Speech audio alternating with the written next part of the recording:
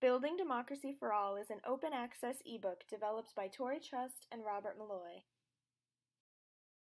This ebook explores many topics related to the United States government and civic life and includes many features that make it a worthwhile addition to your classroom.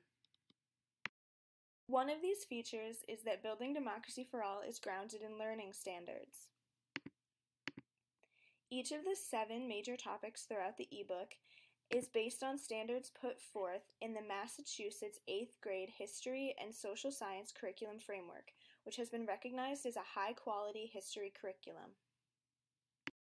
Another feature of Building Democracy for All is that throughout the ebook, there are choice boards containing media literacy activities that allow students to engage in higher order thinking activities. Additionally, each of the seven major topics throughout the ebook contain multiple modules that explore different aspects of the U.S. government and civic life. Within each module, students are able to investigate the history of the U.S. government through the use of various resources, uncover untold stories of individuals and groups who are often underrepresented in history curricula, and engage with questions about public policy. The world is constantly changing, which means that history and civics textbooks can become outdated very quickly. However, Building Democracy for All is constantly being updated, guaranteeing that it stays current.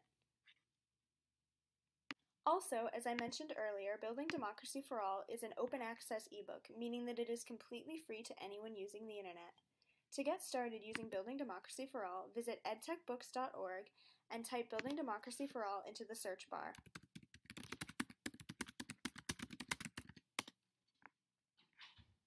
Also, check out the companion ebook Critical Media Literacy and Civic Learning for media literacy activities connected to the contents of Building Democracy for All.